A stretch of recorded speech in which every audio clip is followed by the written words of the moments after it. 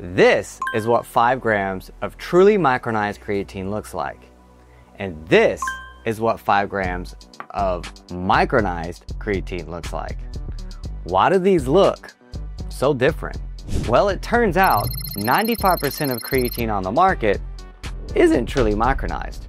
And this can cause upset stomach, nausea, diarrhea, and less absorption because the creatine powder is less broken down, hence the need for micronization.